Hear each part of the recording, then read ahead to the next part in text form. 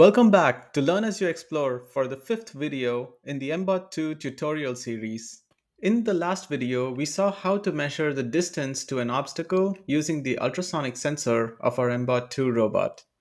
In this video, we'll dive into obstacle avoidance. We will develop a block program where the robot keeps driving straight until it reaches an obstacle, turns 90 degrees, and continues driving until it reaches the next obstacle and repeats. Let's dive right in. Let's go to the mblock code editor by going to ide.mblock.cc. First, let's add the MBOT2 robot to our devices. Click on Add right here. Select the MBOT2 robot and click OK. Now let's add an event so we can control when the program starts running on the robot. As in the previous projects, we will use button B, the triangular button on the CyberPi, to do this. Let's go to the Events block category and use the When button A pressed block, but we'll change this to button B instead. When we press button B, we want the program to start and keep repeating until we press another button to make it stop running. We don't want the robot to start the program and keep running without having a way to stop it. To find a block that can help us achieve this, let's identify the key functionality that we want from my previous statement. Once button B is pressed, we want the program to repeat until we do something. In this case, press another button. In the control block category, there is a block that does exactly this and it is called repeat until, which repeats the blocks that we define within the repeat until block until some condition is reached. So let's click this and drag it on to our workspace. In this case, we want to repeat the program until a button is pressed, so we can stop the robot driving once we press that button. Since we use button B to control the start of the program, let's use button A to stop the program. The space within the repeat until block with this hexagonal shape is available so we can provide a condition that we want. In general, all conditional blocks have this hexagonal shape in mblock. If we look into the sensing block category, we see one such conditional block that says button A pressed, and it has the same hexagonal shape, which represents a condition block. Let's drag this and drop it into the repeat until block condition. All right, the structure of our program is looking great so far. Let's do a quick review before proceeding further. So far, our program says when button B is pressed, we're going to repeat some actions until button A is pressed. Let's move on to defining the actions that we want to repeat within the repeat until block. Now let's think about what we want the robot to do. We want the robot to keep driving straight as long as there are no obstacles very close to it. If the robot detects an obstacle close to it, we want to turn 90 degrees in some direction. For this project, let's define the direction of turning to be left, meaning that when the robot detects an obstacle close to it, we want the robot to turn 90 degrees to the left and otherwise keep driving forward. This will be our objective and I'll keep it on the screen here until we're done with our program since it will be a good reference for us as we build the program.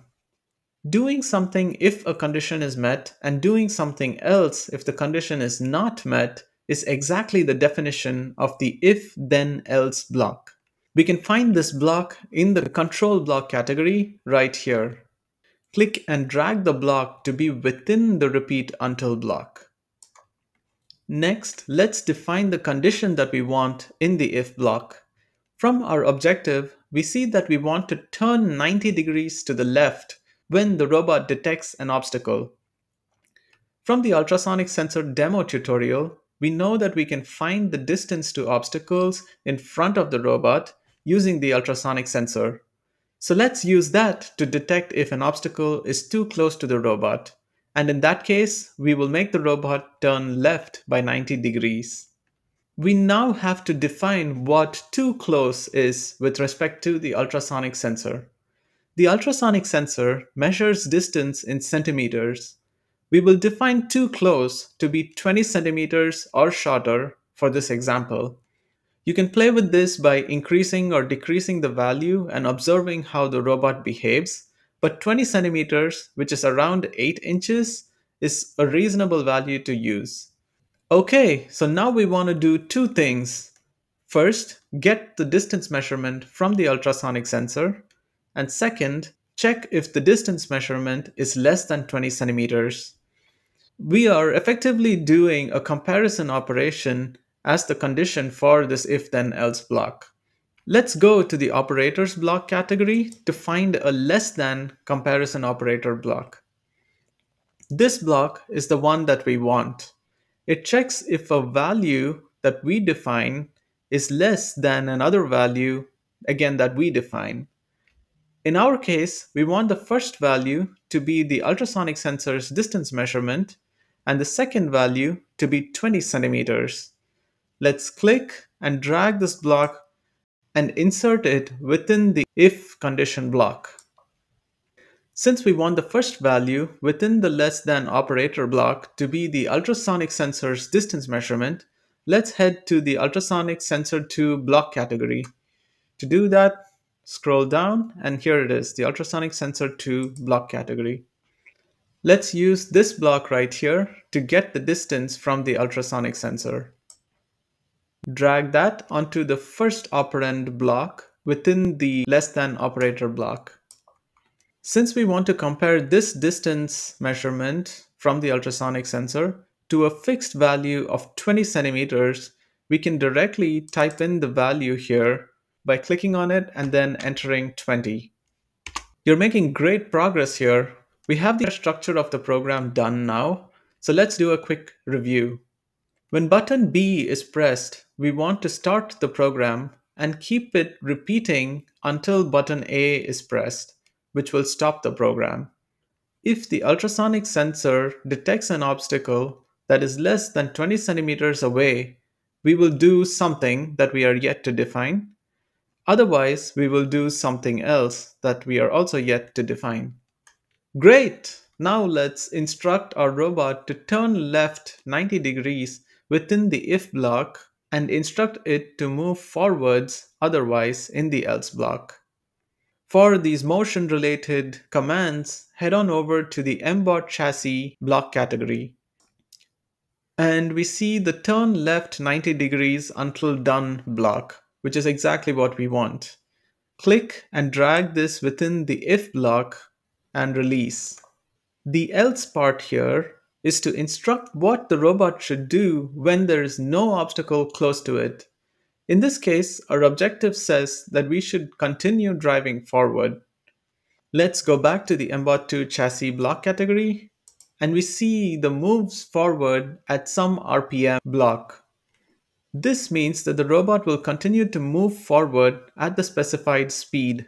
Remember, RPM is revolutions per minute, which is a measure of wheel speed. Let's drag this into our else block. From my testing, I've found that 50 RPM is a bit too fast for me, so I'm going to make this 30 RPM. Feel free to adjust the speed as you would like after doing some initial testing with 30 RPM. Wow, that was a lot of work. I'm proud that you've followed along so far. We're almost done. We just have one last thing. Let's think about the case where the robot continues driving forward at 30 RPM, like we've defined here, and we want to stop the program. When button A is pressed, we come out of the repeat until block and we end the program. However, since the last command was to move forward at 30 RPM, that is going to make the wheels continue to drive forward even though the program has stopped. What we really want is to stop the wheels before the program ends. To achieve this, we will go back to the MBOT 2 chassis category and use the stop encoder motor all block. Let's drag this and drop it right after the repeat until block. This will instruct the robot to stop both of its encoder motors, which is just the technical name for the blue motors that drives the wheels of the robot. This way, even if we were moving at 30 RPM and we press the button A, the wheel motors will be instructed to stop driving just before we end the program. So the robot will come to a full stop just after button A is pressed. Awesome work! We now have our complete program and we're ready to test it on the robot. Make sure that the robot is powered on and is connected to your computer with the USB cable. If you're not sure how to do that, I'll add a link in the description to the exact timestamp from one of my previous videos where I show you how to do that. Once your robot is powered on and connected to your computer using the USB cable, click on Upload and then click on Serial select the USB serial device and click connect. Great, your robot is now connected. Click on upload code. Wait for the upload to complete. And great, your code has now been uploaded. You can now unplug the USB cable from the robot. Great, let's head on over to the robot and see our program in action. For the test setup, I have a few walls here to check that the robot can detect the walls as obstacles, turn left 90 degrees when it gets close to the walls, and then repeat. We have the program on the side and throughout the test, I will point to the section of the program being executed. This will give you a nice visual understanding of the program. We're going to start our program by pressing button B. We see the robot continue to drive straight until an obstacle is less than 20 centimeters away and then turn left by 90 degrees and this process repeats.